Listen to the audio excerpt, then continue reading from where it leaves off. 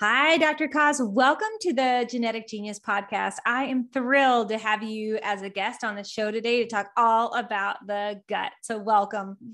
Thank you so much. It's an honor. Yeah, great. Well, before we dive deep into talking about the gut, I'd love for you to just tell a little bit about yourself, introduce yourself, talk to you, you know, about what your passion is, what your place is on the planet, what you're doing to make a difference. Yeah. So I'd say my passion is my functional medicine practice. I started my career as a traditional medical doctor. I went through family practice residency and was introduced to functional medicine very early on. And the whole point is to get at the underlying cause of disease. So instead of me as a traditional doctor listening to symptoms and giving you pills to fix or to help those symptoms and figure out why are you sick. And so i got into medicine because both my parents are doctors and i was always interested in it but i kind of veered off course got a business degree. During college my best friend was diagnosed with lupus and passed away two months later. And that's kind of what motivated me to go back to like medicine and her issue was an autoimmune issue. And i don't think that if i would have stuck with the traditional family practice model i could have made much of a difference. But in the functional medicine model i feel like i've been able to help people with all types of immune disorders and other things chronic diseases heal and get off of medications and go back to living a healthy life. Yeah so i'm a first generation american my parents are from Poland. I was born and raised in Chicago. I live in Bozeman, Montana now in the mountains. Um, married with two bulldogs. Um, I'm a big dog person.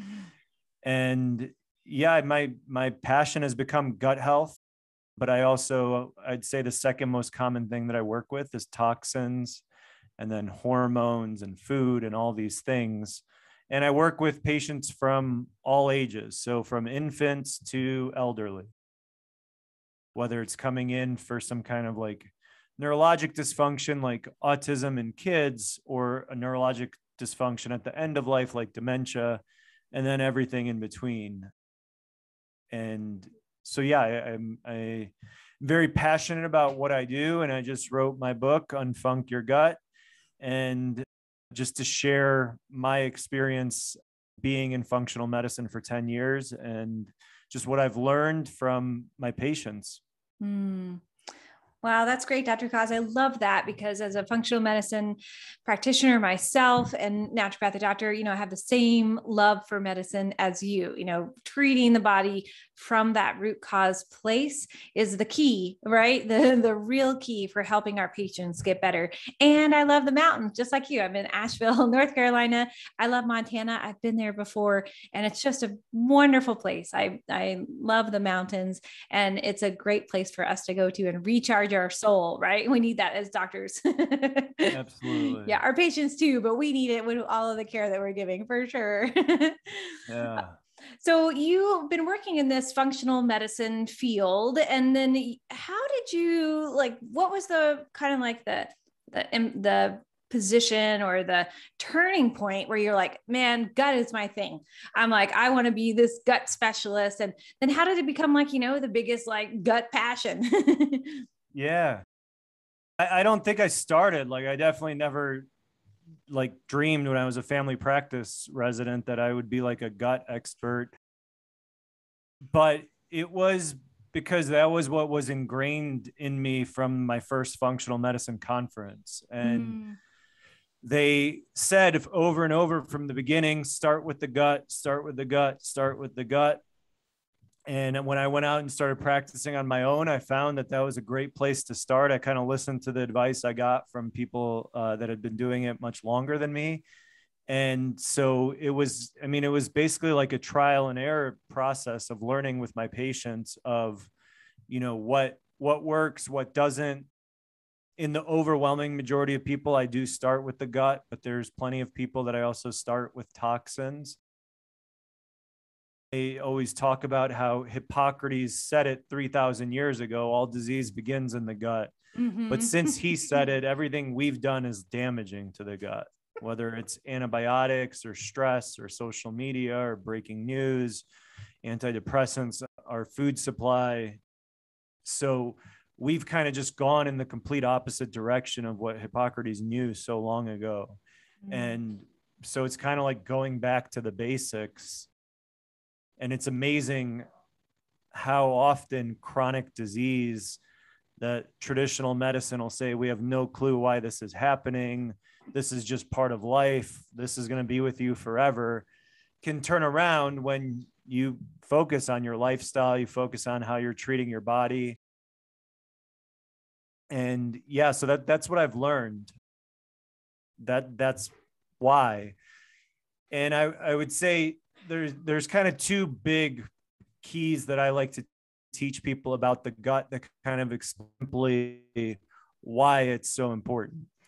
The gut is a tube that starts with the mouth and ends with the anus. There's openings on both ends. So it's made of your mouth, esophagus, stomach, small intestine, large intestine. Attached are your pancreas, your liver, your gallbladder. That's your gut. It is like a long highway running through your body. The gut's most important job is to decide what comes into your body and what stays out. So the inside of your gut tube is actually considered outside of your body. Mm-hmm. If you swallow something and poop it out, it's never been in your body. And it works like the skin, but people wash their hands 10 times a day and you know to prevent things from getting in, but then they'll throw anything in their gut tube. right. The skin is super thick and it's very hard for things to get in. The the gut is not. It is extremely thin and it is very easy for things to get in. Mm. So we have all these different mechanisms to break down the harmful substances and get rid of them and then to absorb the nutrients. And our nutrients, like our vitamins and minerals, are what support our body, right? They support our immune system, they support our thyroid, they support our hormones.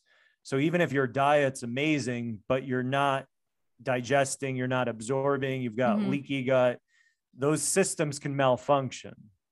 And that I think is something that I didn't really understand um, when I finished regular medical school and residency, thinking mm-hmm. about the gut as outside of my body. Mm-hmm. And that, in looking at it that way, I think that that kind of makes sense then why it's so important. And with our environment getting more and more toxic year after year, it's, you know, we're being exposed to more and more things. Our guts are leakier and things are getting in. And on the other side of your gut barrier is your bloodstream, and that's the inside of your body and what's hanging out there is your immune system. Mm-hmm. and your immune system is constantly patrolling and saying this is good this is bad and if something's bad it attacks. And that creates inflammation.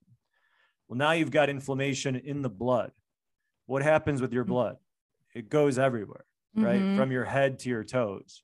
So you could pick any of like the most common gut issues like food sensitivities candida sibo dysbiosis low stomach acid and the symptoms can present differently in every patient you work with. Mm-hmm. that that's the gut that's the gateway into your body. And so a lot of times i people like well ask me they're like i'm here for eczema. Why do you want to talk about my gut? I don't have any gut symptoms. I'm like mm-hmm. well it, it could be that's probably where it's starting. So that's a, a huge thing that I think that people should understand and that that's where that term leaky gut comes from is mm-hmm. basically when that barrier is lost and then anything that's flowing into your gut can get into your body and then the other big thing that I, that I talk about in my book and that people should understand is your microbiome mm-hmm. and the three to five pounds of bacteria that you have growing inside of you there's multiple mechanisms where that bacteria can go wrong. And when it does, that could lead to a lot of inflammatory conditions. Yeah, those are great points, Dr. Koz. I really liked how the um, analogy that you gave, because that really gives people this ability to see themselves from the inside out, right? Which we're always, you know, as doctors, we're always looking at that. But from the patient perspective, they, you know, can't relate to what is going on the inside. So it's our job to always be able to, like, okay, let's talk about what's in the inside, because that's really the important, you know, we have the physical body, the spiritual and emotional, but that's that huge piece of physical being able to relate to it in some way allows that relationship to grow in a much deeper way. And then I love the other things that you said too about the toxins so key. You know i work with tons of patients on doing detox programs because like you said we have everything in the environment. It's not just a physical we have so much emotional toxicity around us. We have to have a way to be able to process it. And also i really liked what you mentioned about the microbiome and we'll dive deeper into that too so, one thing I wanted us to kind of like backtrack a little bit is from that functional medicine perspective, why do you think that we see or you see so much of a difference that perspective about chronic illness? Because you know as you mentioned the typical md model doesn't really have the tools like they don't really see how uh, the body works in the same way that we do so what how is your training done and what's why do you think we have so much of a different perspective from on the, from the chronic disease standpoint I think to keep things simple, it's the pharmaceutical industry. They kind of control medical training, in my opinion. And mm-hmm. that, that was mm-hmm. my own personal experience. We are taught like the the system, we're taught what can go wrong with the system, and then we're taught what medication will fix what's going on. Mm-hmm. And and we don't ever talk about like why that something is going wrong or what could be underlying it mm-hmm. and uh, all the money is in the pharmaceutical industry so they have all the power and control over what kind of studies are put out mm-hmm. and so as a traditional doctor i mean I, I got zero tools in my tool belt to help someone with nutrition or understand their microbiome or think about toxins. I just didn't have that stuff. And because I, there's no money in it for the pharma. That's my opinion. And in functional medicine, I mean, I, I, had to spend a lot of money and a lot of time to train mm-hmm. in functional medicine. yeah, you're you're right about that. you have to take like you know you have to take a break from what you're doing, making a living, to just learn a whole different way. Like you spend so much time and uh, effort into learning medicine, and then like you have to spend even more time and money to learn this completely other way to think about mm-hmm. it. Um, which is sad, but that that's kind of the environment that we live in. So I think that just traditional doctors, they unless they take the time to think outside the box, to educate themselves, to learn a different perspective, that all their influence is coming from pharma. Mm, yeah, that's right on. I think you're it really hit the nail on the head there because it's true. It's it is controlling, you know, the way that we think it's controlling the way the money goes it's controlling this research all of those aspects.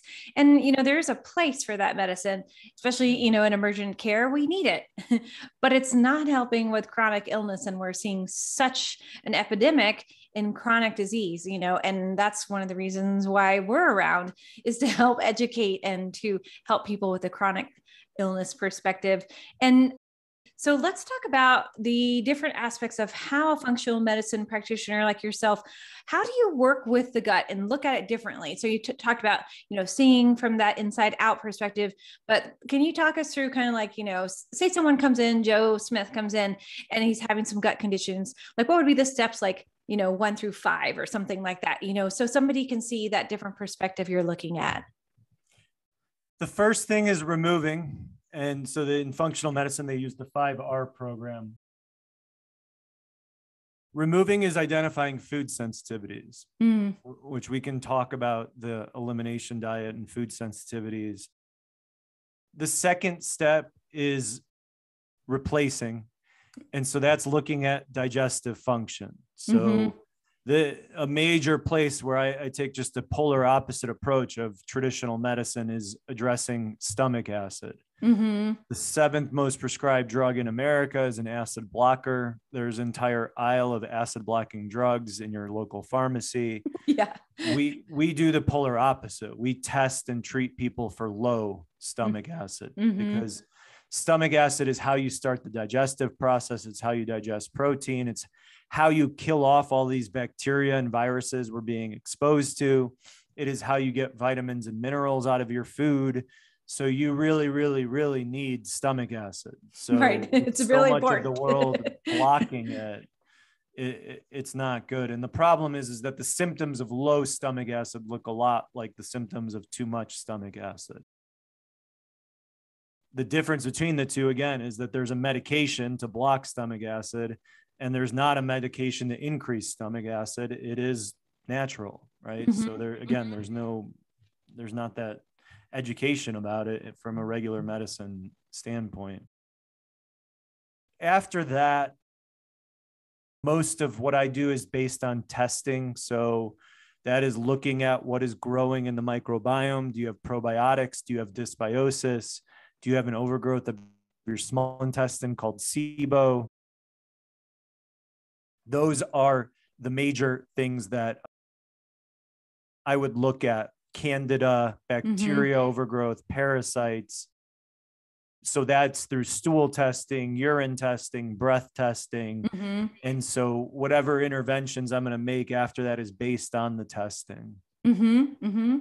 That's great. So that's kind of like the whole perspective, looking at the gut from all different things. That's not like you mentioned earlier from the mouth to the anus. We're not just looking at like, okay, here's your symptom. And like you said, like here, take this PPI and we'll see you later. right. Because yeah. that's, that's uh, not helping things. So, okay. So somebody comes in and they're seeing you and you're starting to look deeper into what's really happening in the gut. So why is the gut so important why does it have so many roles? You know, like we have lots of other organs in the system. And like you said, everything starts in the gut, but why does he think, why do you think it does that? What's the whole point of our, our being for that? yeah. I, th- I, mean, I think cause it's our, it's our like mucosal exposure to our environment, mm-hmm. right? Mm-hmm. And, and our bodies are dependent on what we put into them. Mm-hmm. And so it is basically the entry point to nourish your body. And I mean, if you don't nourish your body, you die. And one way of not nourishing your body is to not eat real foods and to eat right. fast food and to eat processed food. So that's one component. There's the other component of your microbiome, the gut bacteria. Mm-hmm. Um, I have a T-shirt that says mostly microbes. We we have like 23,000 genes, right? Mm-hmm. And one of the last studies I saw, they found identified over 22 million bacterial genes in the gut. Wow, it's amazing, isn't it? yeah. So, and they're communicating with us. They communicate with your immune system, your nervous system, your bones, your arteries, your fat. They're talking to us, your brain. And so they're they're in constant communication. If those bacteria are healthy, then you're going to send positive signals to those systems. If those bacteria are imbalanced or inflammatory, then you're going to send negative influences to those systems. Mm-hmm. Yeah, it's like good good vibes or bad vibes coming from the gut, right? Yeah. yeah, that's so true. And you know, I love what you said too about what we're eating.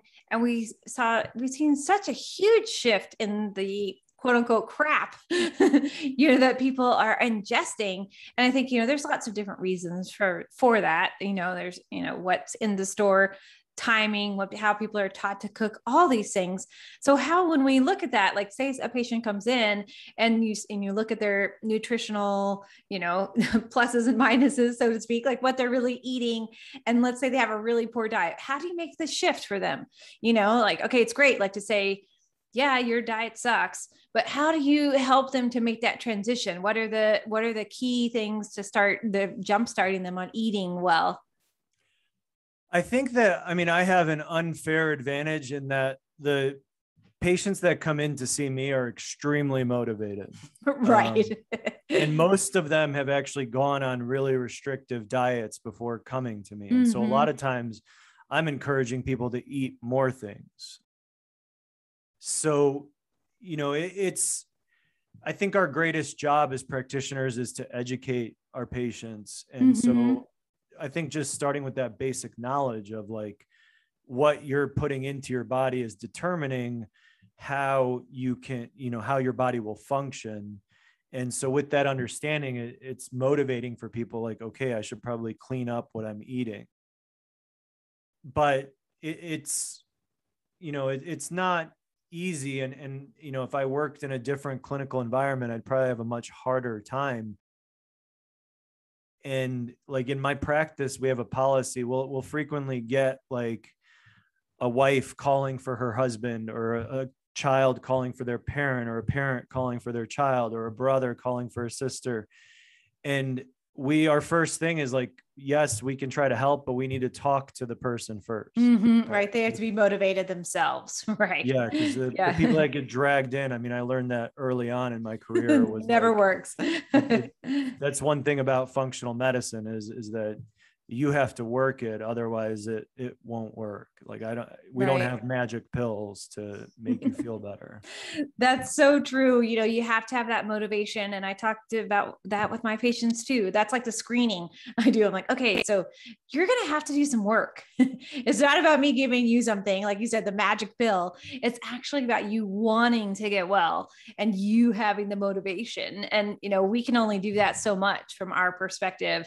And I, that is really key. I really like that you said that because that, you know, it, it is a part of somebody wanting to take that first step and that's jumping in, right? I'm all in. You tell me what to do and I'm all in. That's the Yeah. perfect patient, right? Uh, so okay, so let's talk. Let's talk a little bit more about the microbiome. You mentioned, you know, it's a this amazing plethora of so much that we don't even know uh, that much about yet. So when you're talking about helping, so how do you determine one, like if somebody's microbiome is out of balance or it's not working properly, and then what do you do? Like, yeah so my my favorite analogy to think about your microbiome is it is like your own garden so if you have a garden at home you can think of the the three to five pounds of bacteria that grow in your large intestine as being similar and the analogy is is basically like the probiotics of your garden are the plants mm-hmm. fiber and some sugars are the fertilizer for your garden. Mm. But what happens in a garden at home if you don't take care of it is weeds grow, right? Right. or if you spray it with like glyphosate, it's going to die. right. And that's basically like what taking an antibiotic is for your Mhm. garden uh, in Yeah. your gut. I mean, antibiotics are tablets that were designed to kill bacteria, and we put them in a tube that has five pounds of bacteria in it. And that's also what, like, even though I'm a, a gut doctor, I'm not very pro probiotics because if my garden at home was full of weeds, I don't go to the nursery and buy more plants. I have to pull the weeds out first. right. And so it for me is done through testing. So a stool analysis, a comprehensive stool analysis basically gives us a picture of what is growing in your garden. hmm Do you have probiotics and do you have weeds? Right. Um, and who's taking over? How well are your bacteria eating? Do you have parasites? Do you have yeast and candida? How well is your digestive function from your pancreas working? How inflamed is your gut lining? So we gather all that information from the stool analysis. I also like to use an organic acids test, Mhm. uh, a urine test, because it is a metabolite test and it's one of the best ways to catch candida overgrowth. Candida Mhm. frequently dies in the stool. So if you have the metabolites of it in your urine, that's a better way to diagnose it usually. So, based on those two tests, I'll come up with a treatment plan, which can sometimes just be just bumping up pre and probiotics, right? If Mhm. you're garden is kind of empty, but you don't have weeds overgrowing, then we just need to make it grow. In which case, I will use some probiotics sometimes, but mm-hmm. I think it's always better done through food. Right. If you have weeds growing, then we kill them and it's it's we pull them out and it's either through herbs so a natural approach things like grapefruit seed extract uva ursi oregano berberine silver all these different things that can are, natural antibiotics yep um, so i will use those to get rid of the weeds and at the same time we're restoring the garden through diet Mm-hmm. And it could usually is two to three months is how long I'll give a treatment plan like that and then repeat the test. Mm. And some people have healed by that time. Some people still need more work.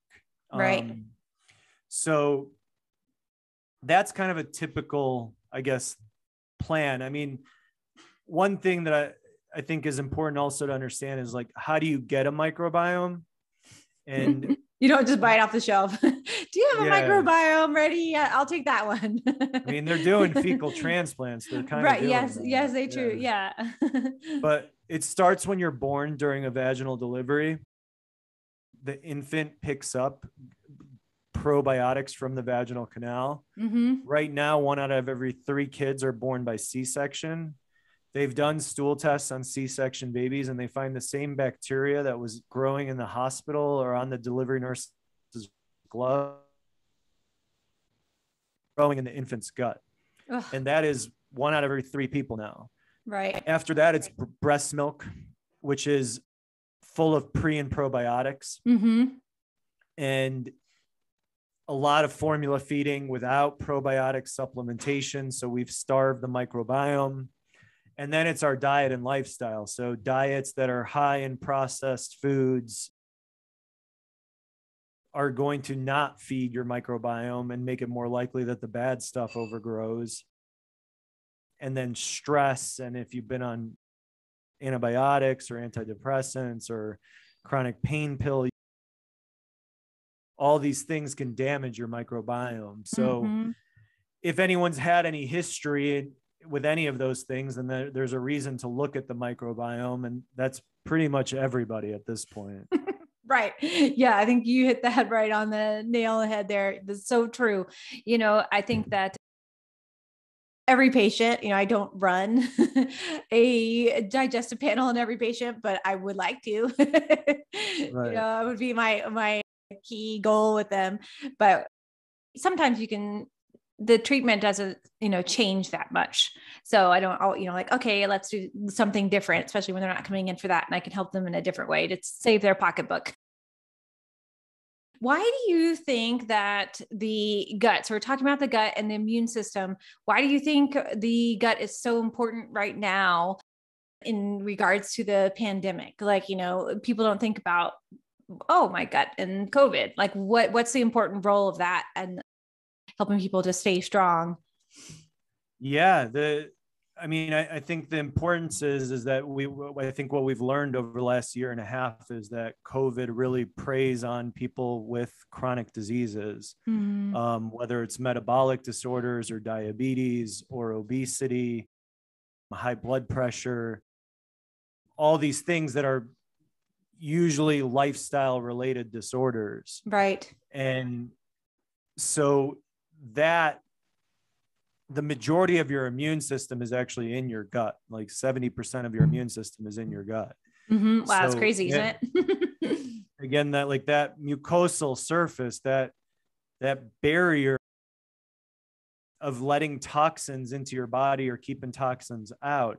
If that's been chronically inflamed over years, you're going to be more susceptible to bacteria and viruses and other things because mm-hmm. you have leaky gut and it, right. you know your barrier is lost so the the immune fi- function kind of starts in the gut and it also kind of helps your immune system in your body function better because it should prevent as many pathogens coming in as when it doesn't when it's uh, not functioning well Right, like leaking through, like you mentioned. Yeah. yeah, totally. I really like that connection there because it is, you know, the like you said, that thin barrier of the gut. And if, if we have this chronic inflammatory aspect, which a lot of people do uh, based on their current state of eating and stress levels, you know, that's going to make them more susceptible to the metabolic. metabolic. Okay, so let's talk about the emotions and the gut because i think that's also a huge aspect. How does how does uh, let's just talk about stress because i think that's a common common theme that a lot of people have been having lately. How does stress that emotional component impact the gut?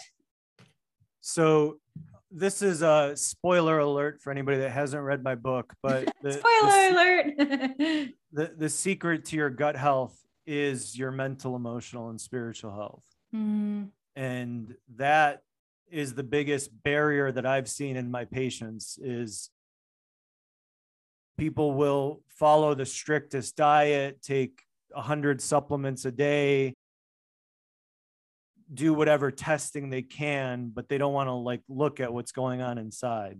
Right. Yeah. And I always warn every patient, I'm like, listen, if you don't make your mental, emotional, spiritual health your the focus of your health, your gut will never get better. Mm-hmm. And it is the gut brain connection. You're that that tube that we've been talking about is surrounded by something called your enteric nervous system. Mm-hmm. So you have a, a, a different nervous system that surrounds your gut, but that nervous system is connected to your brain by your vagus nerve. Mm-hmm. So the vagus nerve raise signals from the brain to the gut and from the gut to the brain. The vagus nerve runs on your autonomic nervous system, your automatic nervous system, mm-hmm. which can either be in sympathetic response or parasympathetic response. Sympathetic response is fight or flight. If you're in the mountains, you see a grizzly bear and you need to escape your the blood goes to your brain and your muscles so you survive mm-hmm. at the if you do survive and you're sitting by the campfire you go into parasympathetic you're in rest and digest mm-hmm.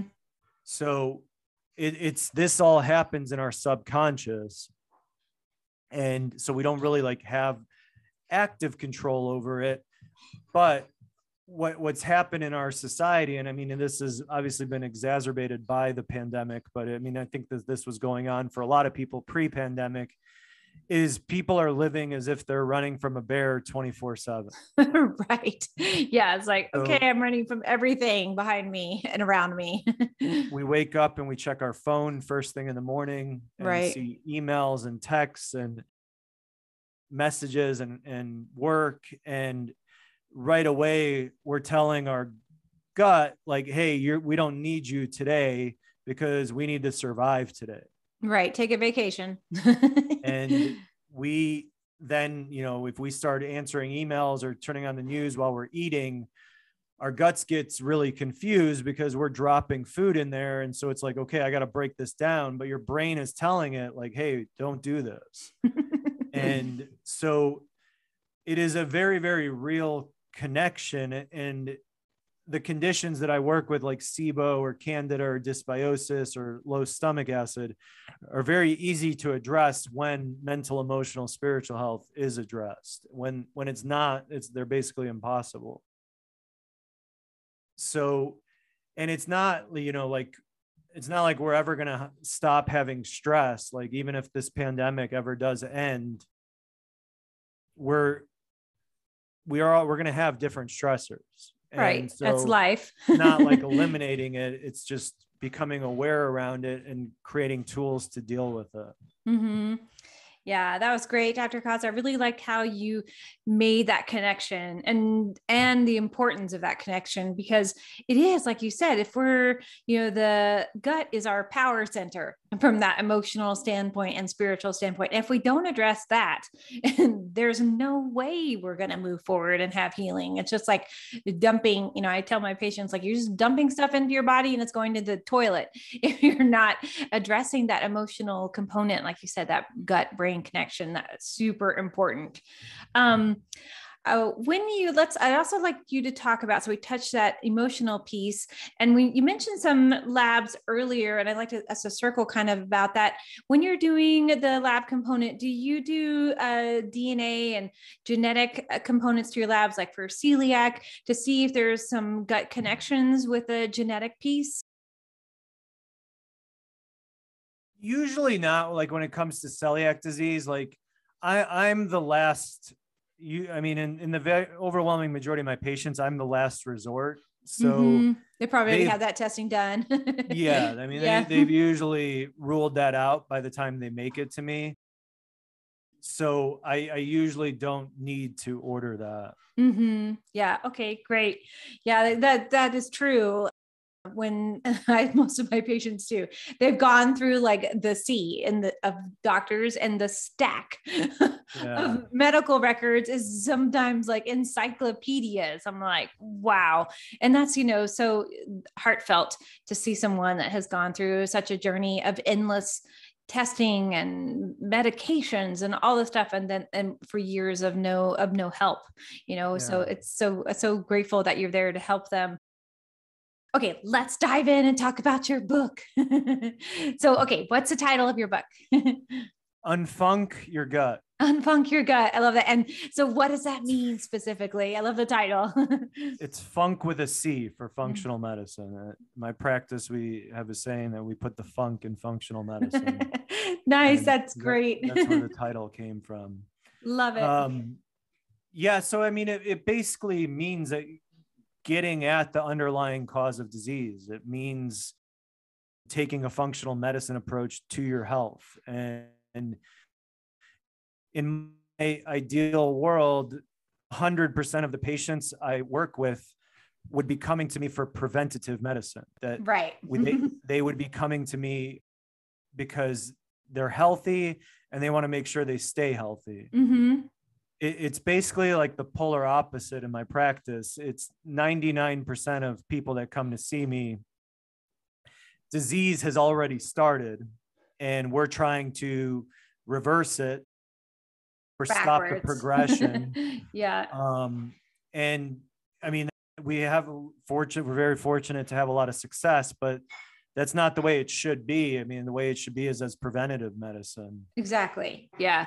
That's how we we need to switch the like the thought process, right, of medicine and the way people view health, right? It should be from that prevention and wellness standpoint, not a sickness, which is where like, you know, we're that's where we're at for people. They think like, "Oh, I'm I'm going to just be in this space and take something to I don't know, to suppress my body's innate ability to heal, right? And just take this over and over again and be in that same loop of sickness instead of jumping out onto the wellness wheelbarrow. yeah. Yeah. okay. So your un- Unfunc Your Gut book, which is an yeah. awesome title. So tell us a little bit about like what was the inspiration? Is that like tied to like we already talked about like your the gut fanatic that you are? Was that kind of like the inspiration? And then also tell us about some of the things in the book. Like why would um, our listeners why would they want to buy the book and how is it going to help them unfunk their gut? sure. The why of the book is I've just I've had a, a, life goal of writing a book, and so I, after I felt like I had enough experience, it was time to do it. and I would say what makes it different. The feedback I've gotten thus far is, I mean, my my attitude towards life is to keep things simple, and I've I've read most of the functional medicine books that are out, and in my opinion, a lot of them can get very scientific and can kind of lose you along the way. Right, get complicated. So, my book is it has some humor in it. Like in the mm-hmm. first chapter, I kind of make fun of the internet and diagnose over diagnosing yourself on the internet, and I mm-hmm. kind of go through this funny story of what happened when I googled abdominal pain and all the different things that I can convince myself that, that are wrong with me. Yeah, it's very um, common that people do that. Yeah, Google is not your doctor. there's definitely benefits, but it's just sometimes there's there's just too much information and sometimes people can't handle it. Yeah, especially for anxiety patients, it's like that sends them down to the rabbit hole over and over again. Also then gets into the gut brain connection and why men, what is mental emotional spiritual health? Mm-hmm. Um, what are some tips to start working on that? One of the tips that I give is like if you're not sure if it's an issue for you, try just sitting in silence for 20 minutes mm-hmm. and, and see what happens with your body. Another tip I give is every time that you want to get on the internet to read about what's wrong with you, try meditating instead and see what happens to your health. Right. Um, and then then I dive into food and food sensitivities. I dive into just what a common diet or a good diet can be if you don't have any food sensitivities or if you do. Then I get into the micro, the anatomy of the gut and digestion. And my first goal always with my patients, if they come in and they're on an acid blocker, that is always the first step. And, with me is to get off of that. So I give a plan in there of how to do that. Um, and then getting into the microbiome how it you know how we get it how it works how we keep it healthy what goes how it can go wrong how you can test for it and then the there's a whole chapter on SIBO because SIBO is the most common gut condition that I work with. There's a lot of misinformation out there about it. There's a lot of confusion about what to do for it. And so I, I really share my experience of working with a lot of patients with SIBO in most of the chapters, I, I, bring a patient story into the mix and I, I, talk about people that I worked with with autism or infertility or eczema or auto disease and, you know what kind of treatment plans and what what our intervention looked like and what healing looked like and then the the end of it and there's a chapter of just putting it all together my own story of learning about mental, emotional, spiritual health is uh, I'm in recovery from alcohol abuse. And so I that's the kind of the angle that I learned about my mental, emotional, spiritual health from. So I kind of offer some tips of what's worked for me. And then the last part is recipes. And I think the cool thing about my recipes is one of my patients wrote the recipes.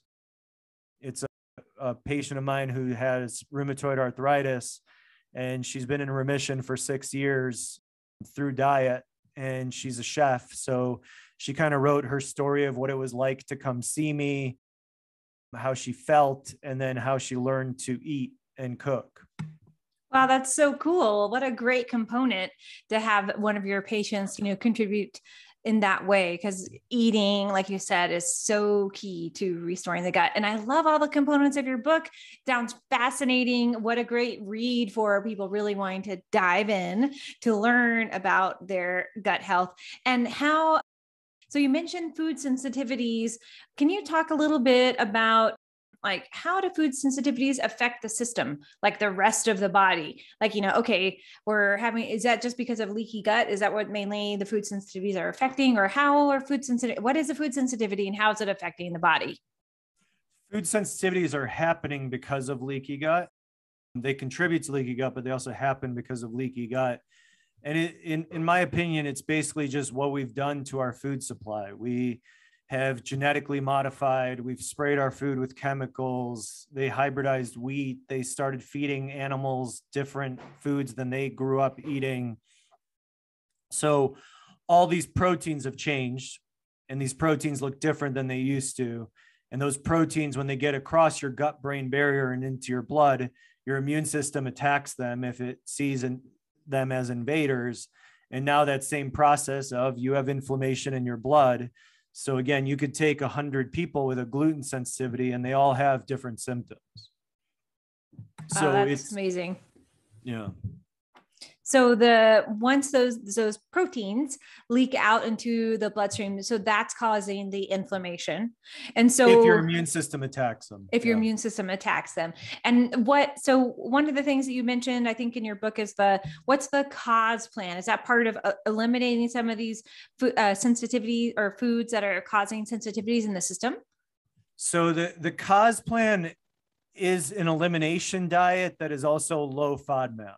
Mm, okay, and can you explain what that is for our listeners? a, a, low FODMAP diet is a diet low in fermentable foods. Mm, okay. Your gut bacteria are alive and they eat, and that's a great thing if they're growing in your large intestine and they're nice and healthy. Mm-hmm. It's a disaster if they're growing in the small intestine because that's where you should be digesting and absorbing your food. So the what I learned over the years, what we would see is we the majority of patients we started them always on an elimination diet, but then you'd start I'd start seeing these people that were getting worse.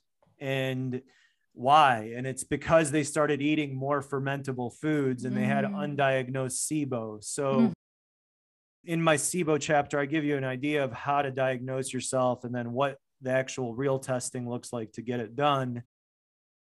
But if you're not sure, I mean, it's a very aggressive diet, but if if you are suffering from a lot of those GI symptoms and, and you think you have SIBO and mentally, emotionally, spiritually, you can handle the cause plan, then it, it is a elimination diet that is low in fermentable foods. Nice. That sounds great. Okay. So, when someone that is looking to find out, sounds like from your book, find out kind of like what's going on in the gut, figure out some tools with themselves, learn about how to do some maybe some self testing, figure out some things on their own, and then also dive into some great recipes and figure out some ways to do some of their own self healing. Exactly. Love it. That sounds great how do people get a copy of your fabulous book? Where can they find you and follow you? yeah, so my my website's the best way to get a hold of me. doc-koz.com doc-koz.com. I'm on social media on, on Instagram as doc underscore cause. I have a Facebook page that's just my name, Peter Kozlowski, MD but and then the, my, my book there's a link to it on my website but you can get it anywhere that you can get a book. Amazon barnes and noble your local bookstore. So just you go in and, and ask for unfunc your gut with a c and they'll be able to get it for you or just order it on, online. Nice great. Okay it sounds like there's lots of wonderful resources to find you find your book follow you and if somebody's following you, what type of things are you posting? Are they like tips about how to heal their gut? What, why, what are some of those things you're doing on Instagram? Uh, it varies month to month. Like we just got done doing an elimination diet challenge. Oh, so nice. We, That's great. Yeah, we did it. My wife and I did an elimination diet. We were posting recipes from my book and and just sharing, you know, our our experience with it. So we're always she's my my wife Mackenzie is kind of like my social media person so mm-hmm. it's never something that I really enjoyed but I am on there and hopefully I mean I've definitely heard some nice feedback from some of my patients and other people that are like that was helpful so we're we're always kind of brainstorming new stuff and then kind of just offering kind of tips advice etc Great. Okay, awesome. Well, we'll put that in the show notes so everybody can find you and follow you and get your book. And one um, last thing as we're wrapping up today, if you yeah. had um, an unlimited budget, yeah. what would you do right now with that to make the biggest impact on the planet?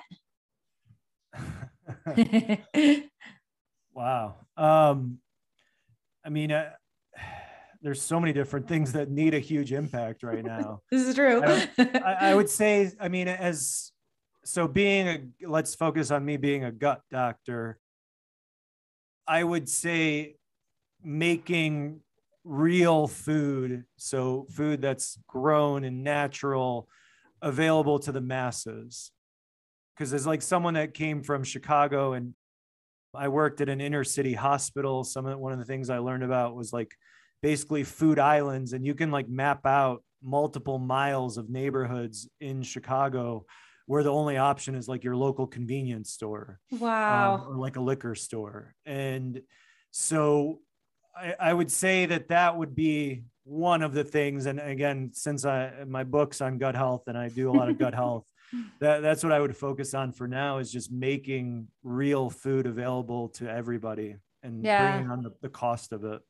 Yeah, that's a great mission. And you know, it's so bizarre that we even have to have that as a mission.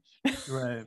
Yeah. right? Like it should be uh, good food and healthy food and restorative food, regenerative food, all that should be available at our fingertips, right? You know, yeah. and I think community gardens is a great way. And I have, yeah. I work at a garden and I have a garden in my yard.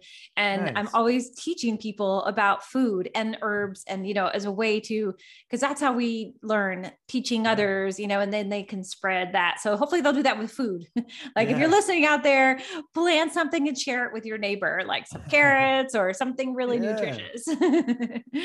yeah.